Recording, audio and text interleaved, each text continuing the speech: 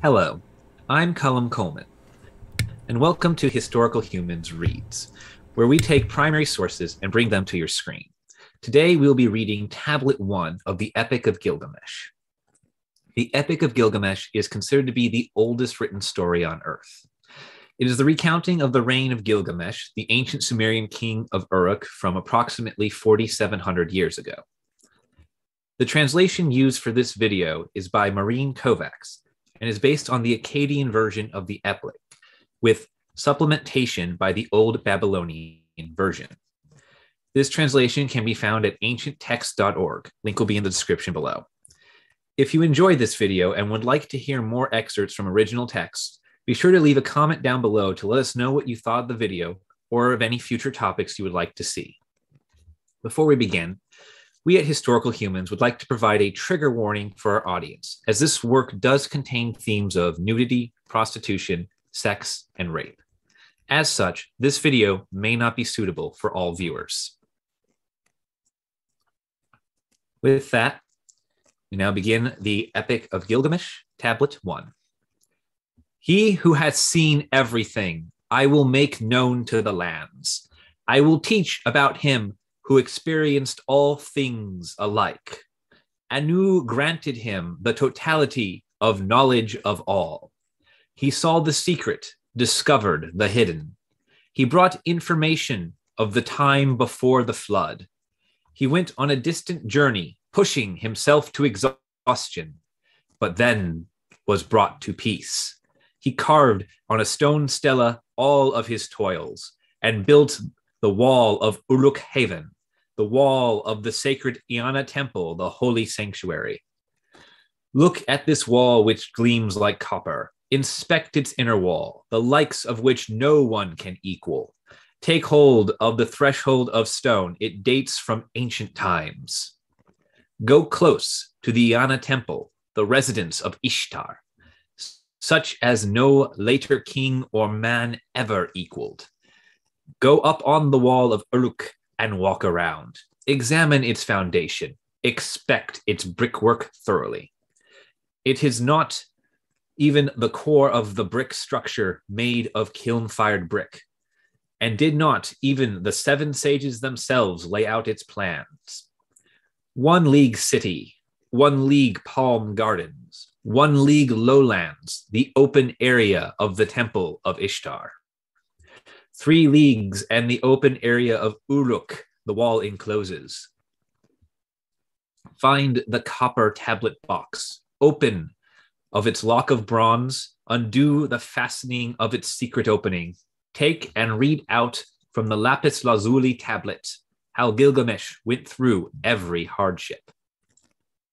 Supreme over other kings, lordly in appearance. He is the hero, born of Uruk, the goring wild bull. He walks out in front, the leader, and walks at rear, trusted by his companions. Mighty Net, protector of his people, raging flood wave who destroys even walls of stone. Offspring of Lugalbanda, Gilgamesh is strong to perfection, son of the August cow, Rimat Ninsun, Gilgamesh is awesome to perfection. It was he who opened the mountain passes, who dug wells on the flank of the mountain. It was he who crossed the ocean, the vast seas, to the rising sun, who explored the world regions seeking life. It was he who reached by his own sheer strength Utanapishtim, the faraway, who restored the sanctuaries that the flood had destroyed. Who can compare with him in kingliness? Who can say, like Gilgamesh, I am king? Whose name from the day of his birth was called Gilgamesh? Two thirds of him is God, one third of him human. The great goddess Aruru designed the model for his body. She prepared his form, beautiful, handsomest of men, perfect. He walks around in the enclosure of Uruk. Like a wild bull, he makes himself mighty, head raised over others. There is no rival which can raise weapon against him. His fellows stand attentive to his orders. And the men of Uruk become anxious. For Gilgamesh does not leave a son to his father. Day and night he is arrogant. Is Gilgamesh the shepherd of Uruk Haven? Is he the shepherd, bold, eminent, knowing, and wise?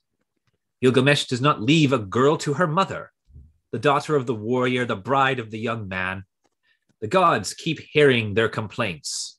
So the gods of the heavens implored the Lord of Uruk. You have indeed brought into being a mighty wild bull head raised. There is no rival who can raise weapon against him. His fellows stand alert, attentive to his orders. Gilgamesh does not leave a son to his father. Day and night he is arrogant. Is he the shepherd of Uruk Haven? Is he their shepherd, bold, eminent, knowing, and wise? Gilgamesh does not leave a girl to her mother, the daughter of the warrior, the bride of the young man.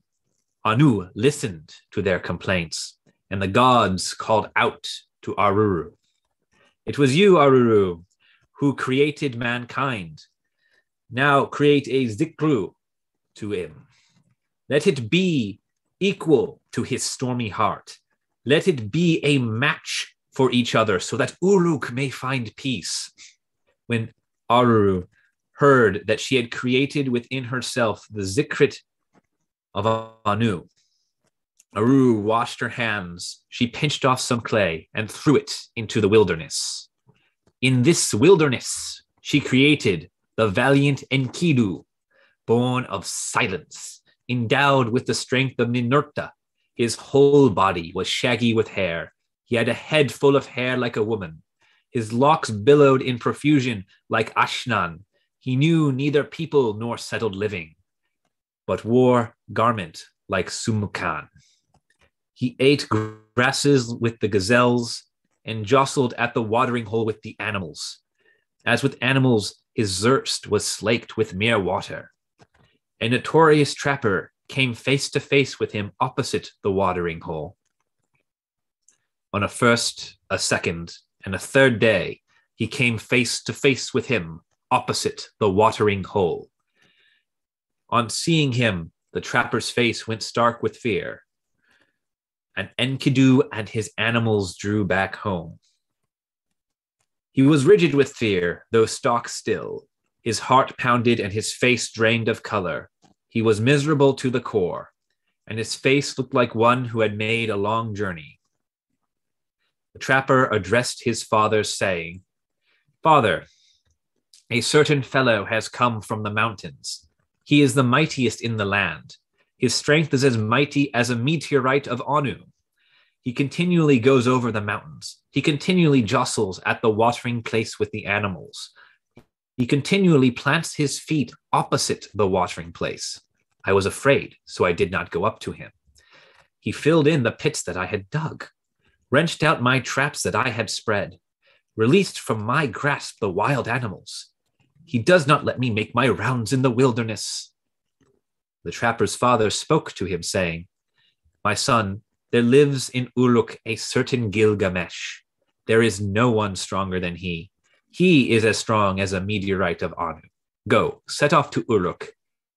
Tell Gilgamesh of this man of might. He will give you the harlot Shamhat.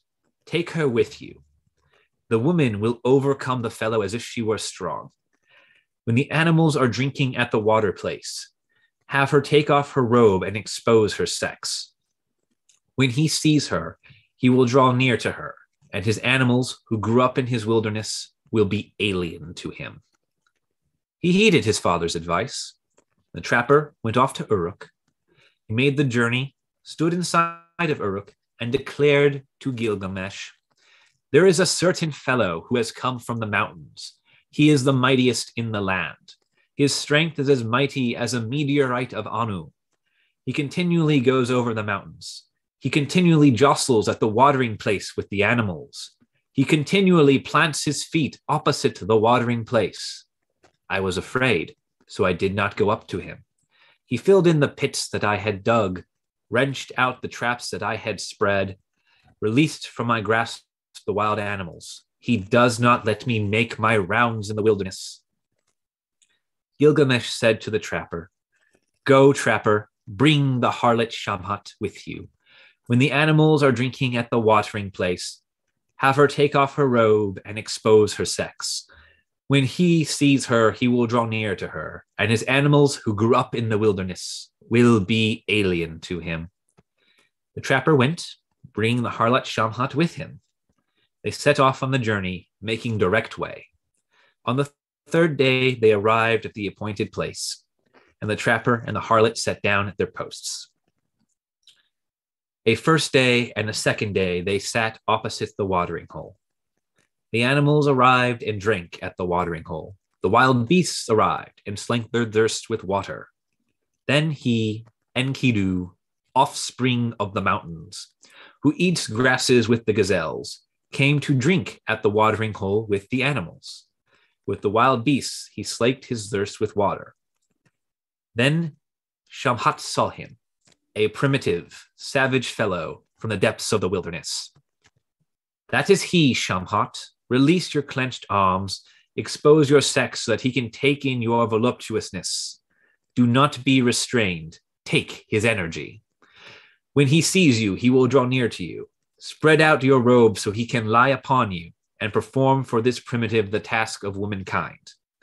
His animals grew up in the wilderness, will become alien to him, and his lust will groan over you. Shamhat unclenched her bosom, exposed her sex, and he took in her voluptuousness. She was not restrained, but took his energy. She spread out her robe, and he lay upon her. She performed for the primitive the task of womankind. His lust groaned over her. For six days and seven nights, Enkidu stayed aroused and had intercourse with the harlot until he was sated with her charms. But when he turned his attention to his animals, the gazelles saw Enkidu and darted off. The wild animals distanced themselves from his body. Enkidu, his utterly depleted body, his knees that wanted to go off with the animals went rigid Enkidu was diminished, his running not as before. But then he drew himself up, for his understanding had broadened. Turning around, he sat down at the harlot's feet, gazing at her face, his ears attentive as the harlot spoke. The harlot said to Enkidu, You are beautiful, Enkidu. You are become like a god. Why do you gallop around the wilderness with the wild beasts? Come, let me bring you into Uruk Haven to the holy temple, the residence of Anu and Ishtar, the place of Gilgamesh, who is wise to perfection, but who struts his power over the people like a wild bull. What she kept saying found favor with him. Becoming aware of himself, he sought a friend. Enkidu spoke to the harlot Come, Shamhat, take me away with you to the sacred holy temple temple, the residence of Anu and Ishtar, the place of Gilgamesh, who is wise to perfection, but who struts his power over the people like a wild bull. I will challenge him. Let me shout in Uruk, I am the mighty one. Let me in, and I will change the order of things. He whose strength is mightiest is the one born in the wilderness. Shamhat spoke to Enkidu. Come, let us go so he may see your face. I will lead you to Gilgamesh. I know where he will be.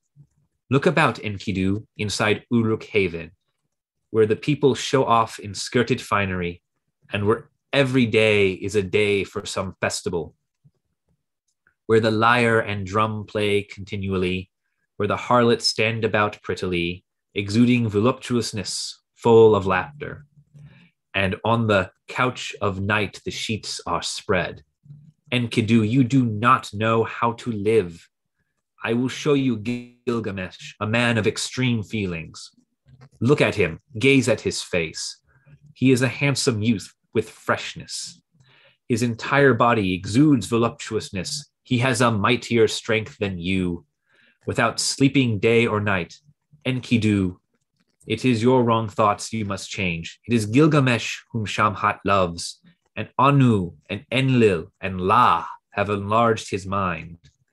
Even before you came from the mountain, Gilgamesh and Uruk had dreams about you. Gilgamesh had got up and revealed the dream, saying to his mother, Mother, I had a dream last night. Stars of the sky appeared, and some kind of meteorite of Anu fell next to me. I tried to lift it, but it was too mighty for me. I tried to turn it over, but I could not budge it. The land of Uruk was standing around it. The whole land had assembled around it. The populace was thronging around it. The men clustered about it and kissed its feet as if it were a little baby. I loved it and embraced it as my wife. I laid it down at your feet, and you made it compete with me. The, mug, the mother of Gilgamesh, the wise, all knowing, said to her lord, Rimat Ninsun, the wise, all knowing, said to Gilgamesh, As for the stars in the sky that appeared, and the meteorite of Anu which fell next to you, you tried to lift it but was too mighty for you. You tried to turn it over, but were unable to budge it. You laid it down at my feet, and I made it compete with you. And you loved and embraced it as a wife. There will come to you a mighty man, a comrade who saves his friend. He is the mightiest in the land. He is the strongest. His strength is as mighty as the meteorite of Anu. You loved him and embraced him as a wife, and it is he who will repeatedly save you. Your dream is good and propitious. A second time, Gilgamesh said to his mother, Mother, I have had another dream. At the gate of my marital chamber there lay an axe, and the people had collected about it. The land of Uruk was standing around it. The whole land had assembled about it. The populace was thronging around it. I laid it down at your feet. I loved it and embraced it as a wife, and you made it compete with me. The mother of Gilgamesh, wise all knowing, said to her son, Rimat Ninsun, the wise all knowing, said to Gilgamesh, The axe that you saw is a man. You love him and embrace him as a wife, but I have him compete with you. There will come a mighty man a comrade who saves his friend. He is the mightiest in the land. He is the strongest. He is as mighty as the meteorite of Anu. Gilgamesh spoke to his mother, saying, By the command of Enlil, the great counselor, so may it pass. May I have a friend and advisor. A friend and advisor may I have. You have interpreted for me the dreams about him. After the harlot recounted the dreams of Gilgamesh to Enkidu, the two of them made love. That is the first tablet of the Epic of Gilgamesh. Uh, if you would like to hear more of this Epic of Gilgamesh, please do leave a comment down below. Uh, be sure to like and subscribe to our channel for access to more content. Uh, we can be found on YouTube and Spotify as Historical Humans, and on Facebook as hum- as Humans of History. Thank you for listening. We hope you enjoyed.